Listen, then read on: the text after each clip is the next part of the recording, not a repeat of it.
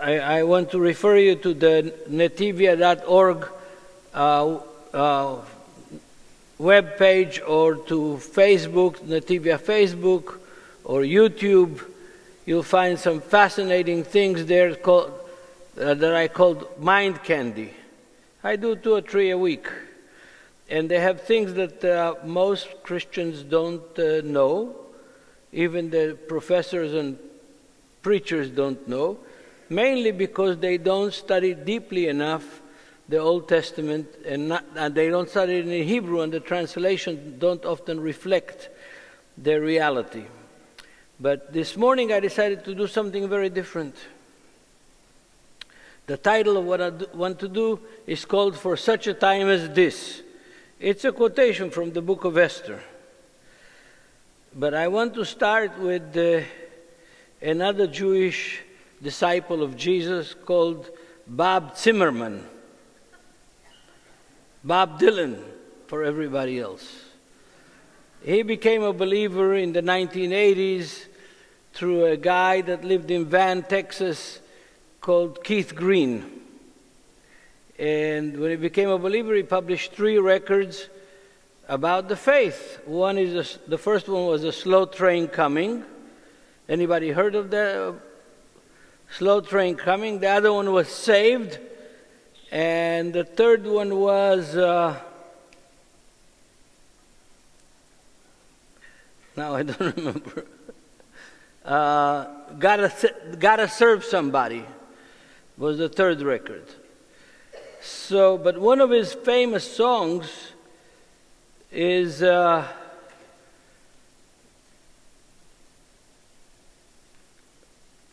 I'll read part of it. Yeah. At least the first stanza I'll read. Come gather round people, wherever you may roam, and admit that the waters around you have grown and accepted as that soon you'll be drenched to the bone. If your time, if your time to you is worth saving, and you better start swimming, or you'll sink like a stone, for the times they are changing. And uh, the times are changing. As I said, I'm, uh, you know, used to travel before the corona six or seven times or eight times a year, uh, and at least twice a year around the world to three or four continents and preach the gospel to Jews and to Gentiles and to uh, all the races in the world. And the coronavirus has accentuated the fact that the times are changing. And in fact, they're changed already the whole geopolitical scene in the world, not only the spiritual scene, everything, the economies, the industries, the relationship between great nations like United States and China, uh, the Middle East has changed dramatically for the good. It, during the corona, we've made Israel has made peace treaties with four Arab countries, three of them in the, in the Persian Gulf.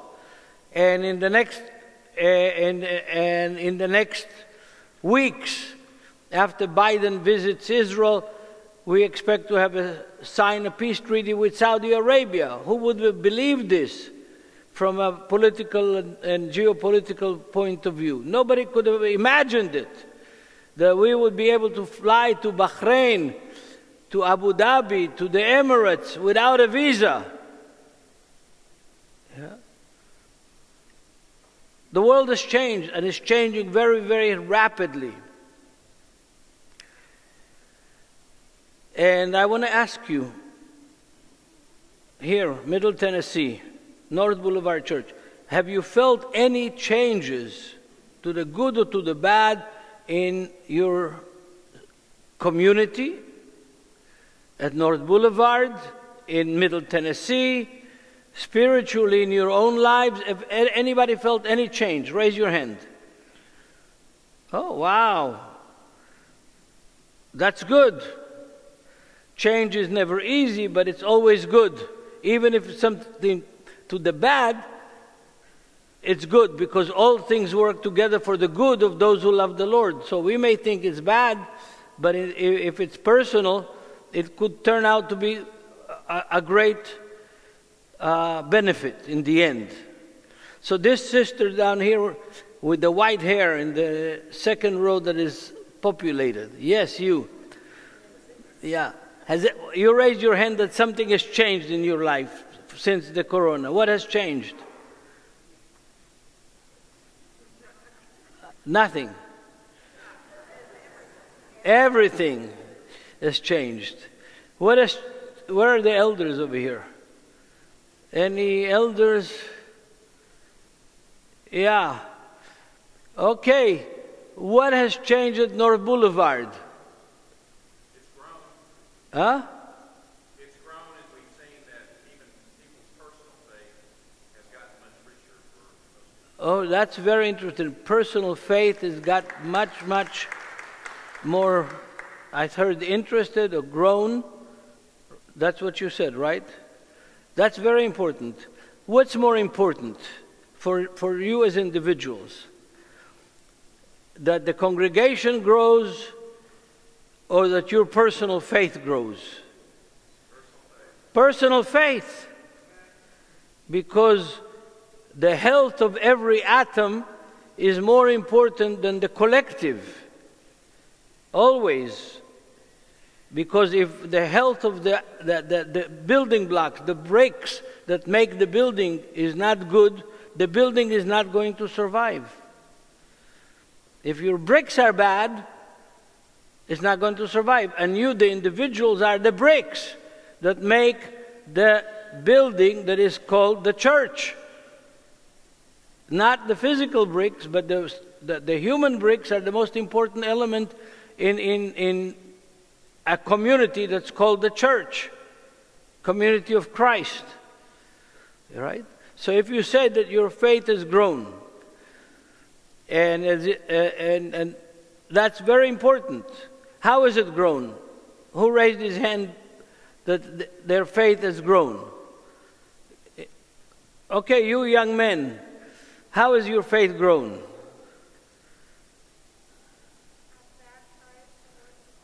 Wow.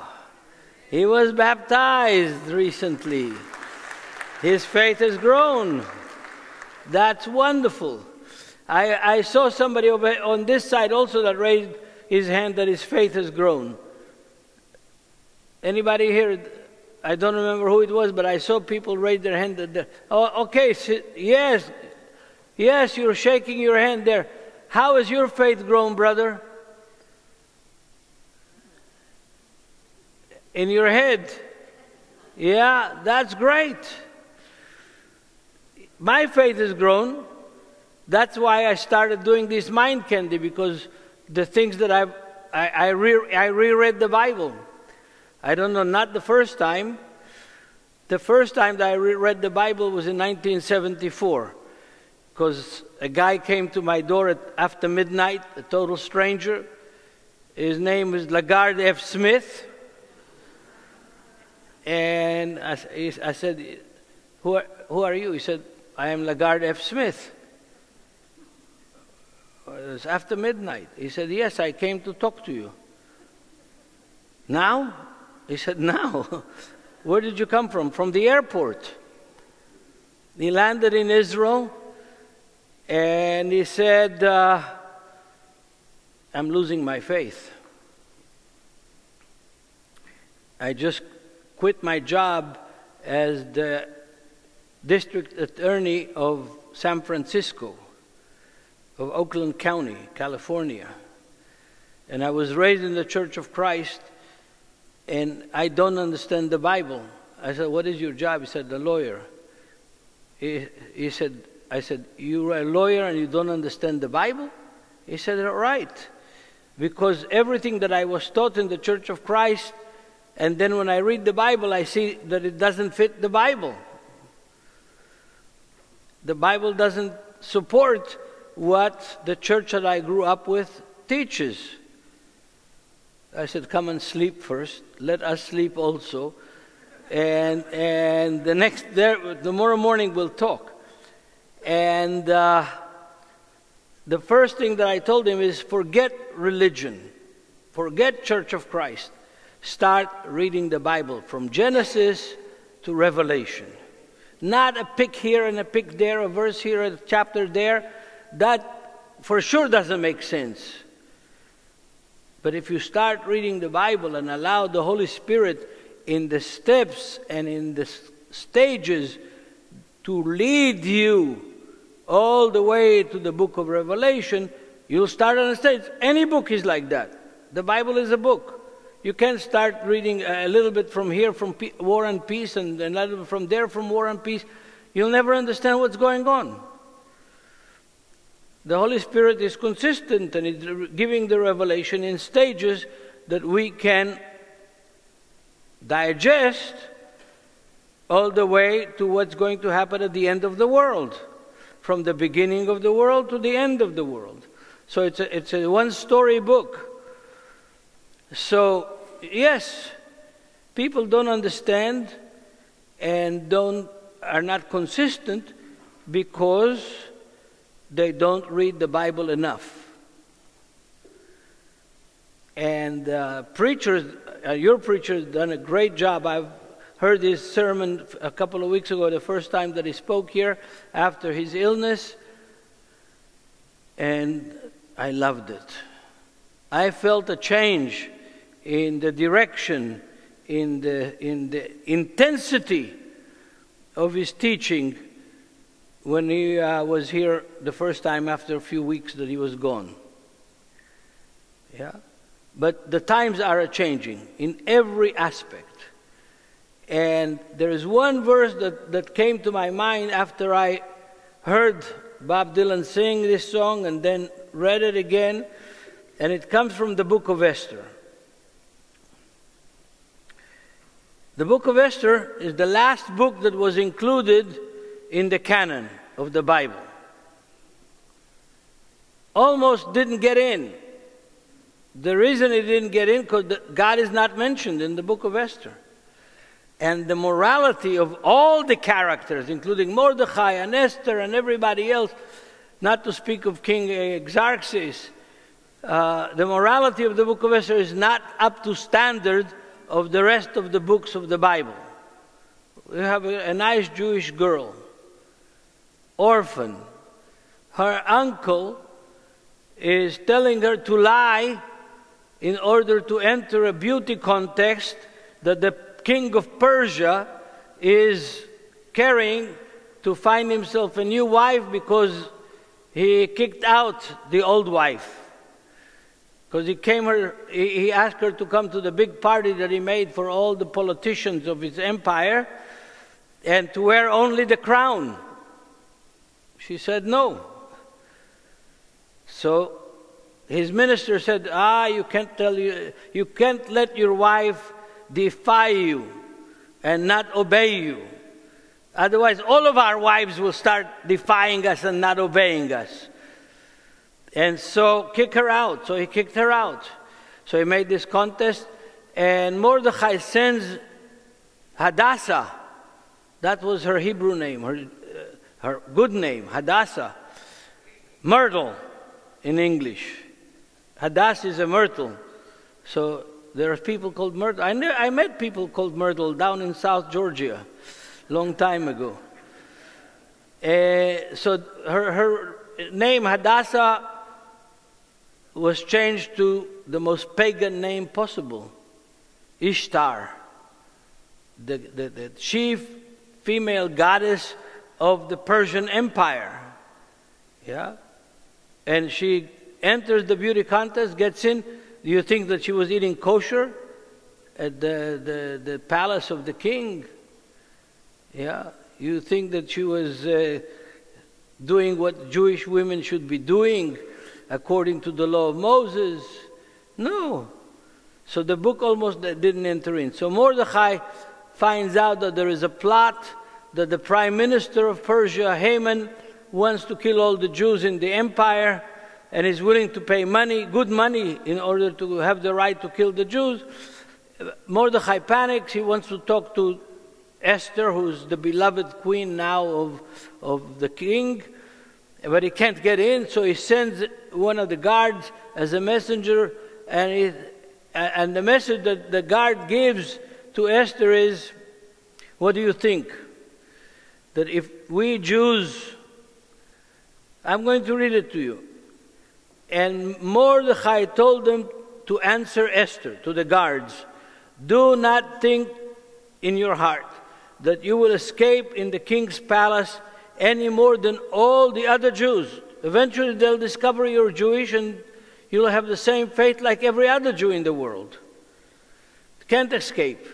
For if you remain completely silent at this time, relief and deliverance will arise from, for the Jews from another place, but you and your father's house will perish.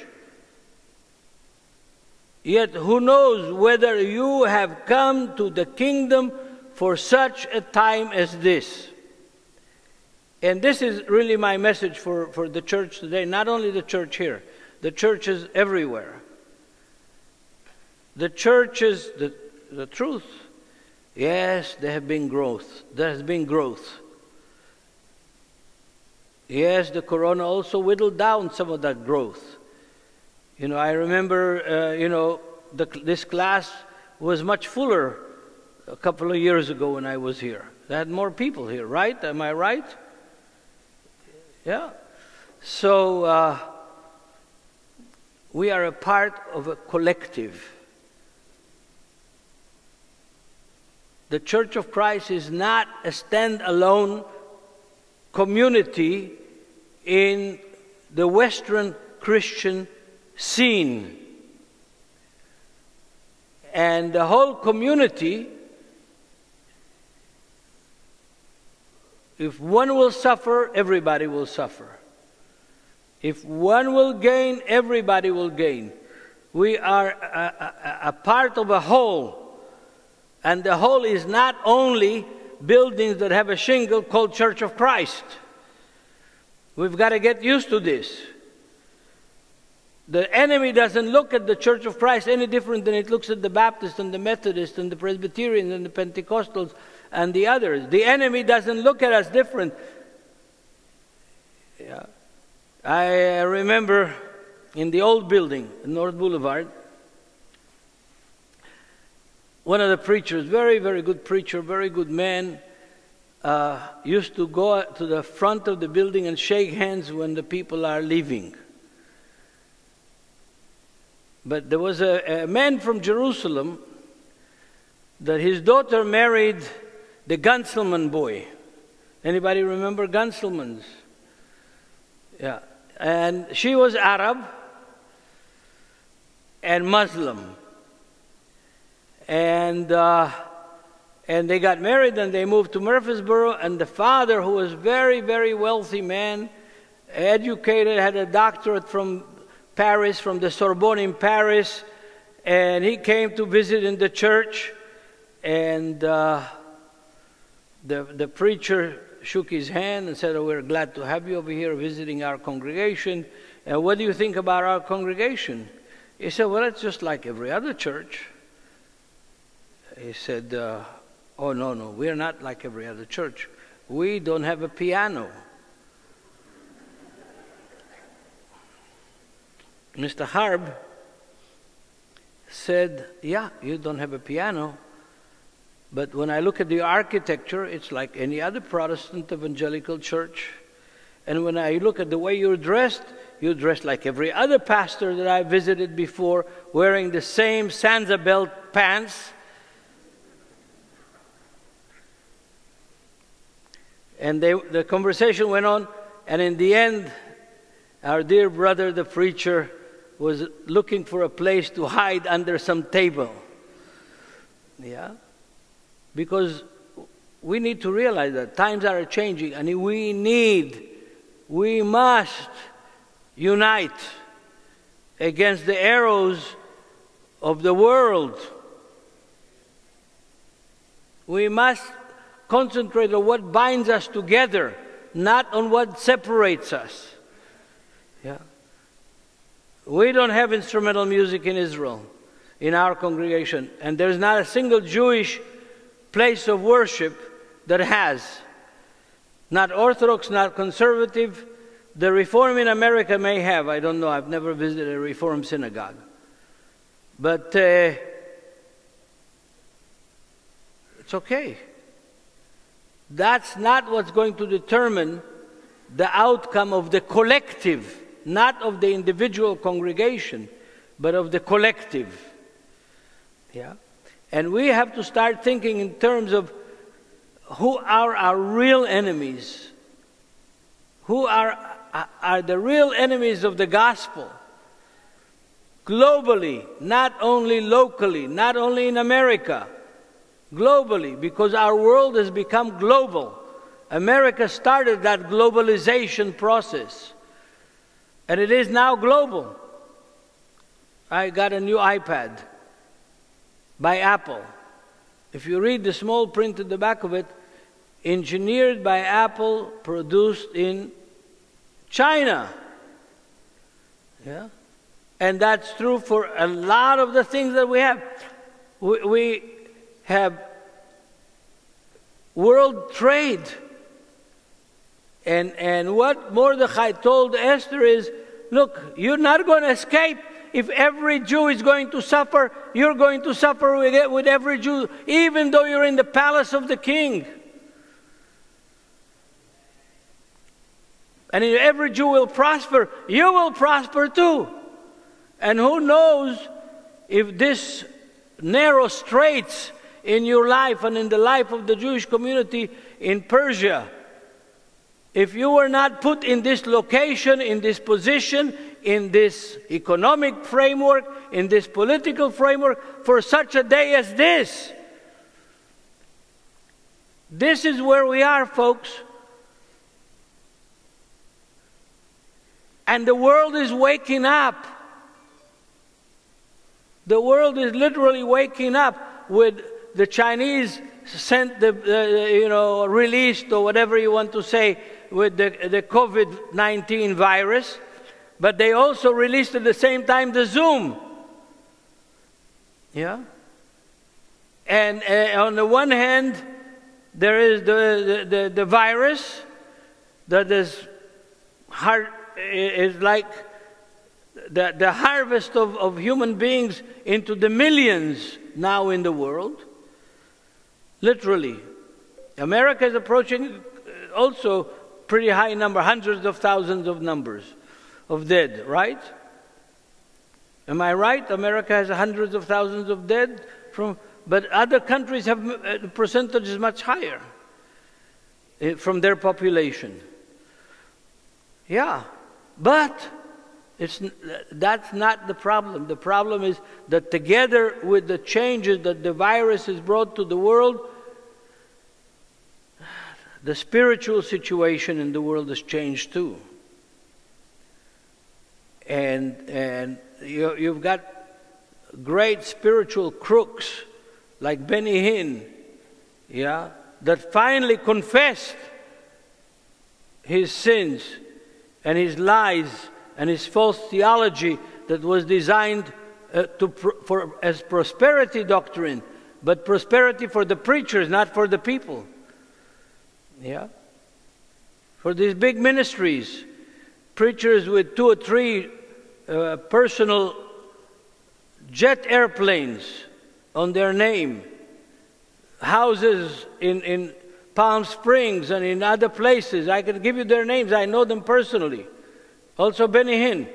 People think he's, he's Jewish because he, he writes in his book that he's Israeli. He's Israeli like Yasser Arafat.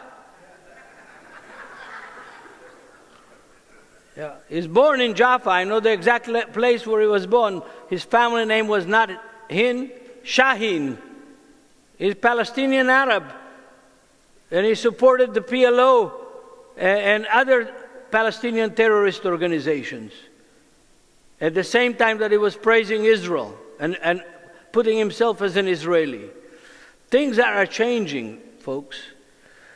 Like Bob Dylan said, and we have to of course, continue worshiping and singing and praising and doing everything wonderful that God has given us the privilege to do. But we've also got to understand that times are changing. And if we don't learn to dance with the wolves in these changing times, we're going to wither away. Churches bigger than North Boulevard have disappeared, like Church on the Rock in Dallas. Yeah? It was the biggest church, evangelical church in the United States. The preacher was uh, one of the most famous, Larry Lea, personal friend of ours. Personal, so personal that, that he decided that he needs to buy me a suit and shoes and shirts and socks so that I'll be tr- dressed right in order to make. Uh, he didn't know that I'm dressed right. You know, that all of my suits were made by a Palestinian Arab living on the Mount of Olives for $170 a suit. I brought the, the cloth from London and the, the tailoring was 170 he paid a, several thousand dollars for a suit that I only wore one time because it wasn't fitting right. It was a, a tailor-made suit is something else. It fits you right. You can move, move your hands. You, you know, you don't have to be, you know, stuck in a narrow suit.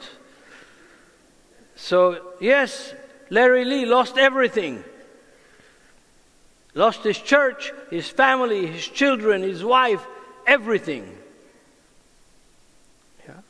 Things like that can happen and do happen. That's why, folks, we've got to learn. The times are changing. And if we don't learn to swim, we will sink. Yes. How, how long do I have? Till 10:30? It's how much? Ten, 10 minutes more. Okay, any questions or comments? Don't be shy. What?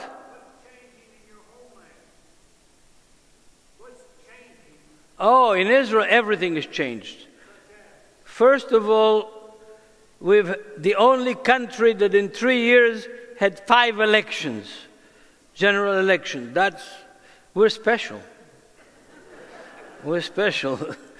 yeah, it's the only country that ministers in the government go to jail four years in jail, come out of jail, and they return to the same seat from which they did their crimes. The only country in the world, maybe in history. But uh, one of the things that has changed in Israel is that the people, the religious people, have understood that all these division, we have 80 different denominations of Hasidic Jews that have nothing to do with each other. Yeah, because they follow this rabbi and they follow other rabbi and the third rabbi and everybody has his rabbi and they have nothing to do with each other. And what distinguishes them that each one has a different hat. And I'm not joking. Every each one has a different hat. And, and because you have that hat, and I don't agree with that hat, then you're not, uh, you're not uh, my brother. Yeah. And, and Jews, Jews are as bad as anybody else on this. Yeah. Bob, remember that we went to Ramah, to the tomb of Samuel? Remember what happened there? Yeah, we went there to the tomb of Samuel one Sabbath, and uh, I was explaining to who was with you. Beside that, yeah. So uh, this Orthodox rabbi comes out of the the Jewish section from under the tomb of Samuel and listens to my explanations and he says, uh, Oh, you ought to come and study with us. I see that you're a good student of the Bible. And I said, How do you know that I don't study? He said, Well, you don't have a, a skull cap. You're not wearing a, a, a hat, the right hat. I said, Test me. He said, What is the portion that we're reading this Sabbath? I told him it's Leviticus chapter 19, the portion, you shall be holy as I, the Lord, am holy. He, said, Oh, I see you know something. I said, Yes. Can I ask you a question? What in this week's reading is the most famous, world famous teaching and verse in, in this chapter, chapter 19 of Leviticus. He said, You should be holy because I, the Lord, am holy. I said, That's a very good verse, but it's not the most famous verse. He said, Then what is the most famous work? You shall love your neighbor as yourself. He said, Ah, that's a very important verse. I said, But, but who's your neighbor? My neighbor is only one who is exactly like me. I said, What do you mean? Those soldiers that are guarding you over here, Israeli soldiers, are they your na- They're not my neighbors. They're not me. They're not religious. They not don't belong to my particular sect. They're not my neighbors. What about other Orthodox Jews? They're not my neighbors. We had a strong argument there in the end, and you know what? In the end, we didn't agree. He just turned around and walked away, which almost brought me to tears because it's so sad. It's so sad when religious people that should know God and should know that there's one God who created the heavens and the earth and is the Father of all mankind end up their religion makes them monsters. And there are Christians whose religion has made them monsters. Yeah? Yes. So that's, that's, dear brothers and sisters, I decided not to take some text and analyze it and all these things. David Young is doing a wonderful job with these kind of things. But I decided to talk to you about what I think is, is very, very important.